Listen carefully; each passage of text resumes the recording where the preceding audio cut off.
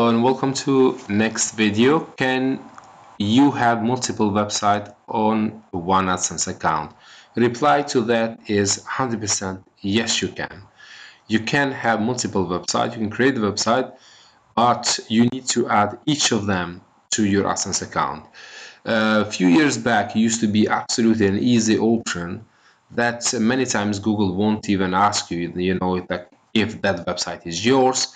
Some people used to apply with, with other people's website. Example, they will find a website that it was um, a great website, designed properly, and uh, basically had everything needed to be accepted to AdSense.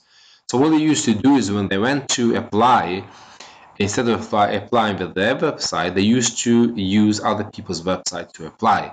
So when, uh, example, imagine that you uh, the owner of this professional website, one day they decide to apply for AdSense, and then once they go and apply, it will just say, oh, this domain already has been uh, used for another AdSense account.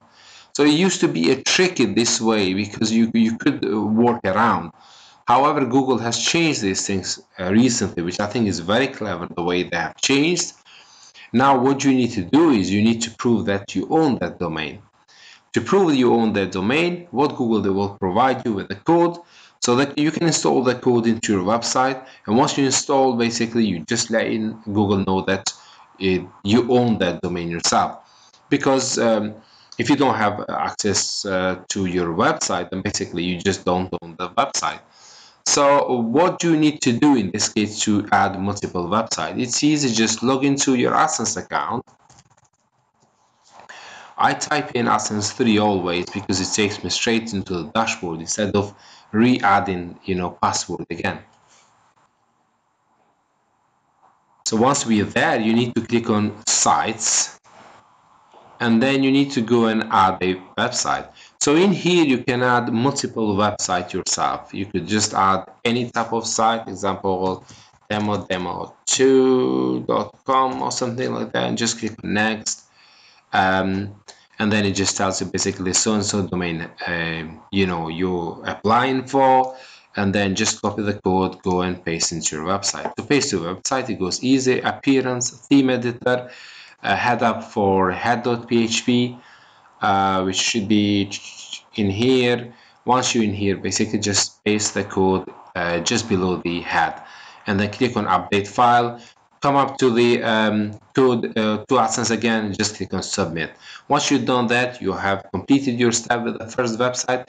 Just go and add another website. So you go again back and then this time you add second website and you do the same thing all over again. So yes you can add multiple websites but it doesn't mean that AdSense is going to accept every single website you apply for. So make sure your website is fully ready for AdSense to apply.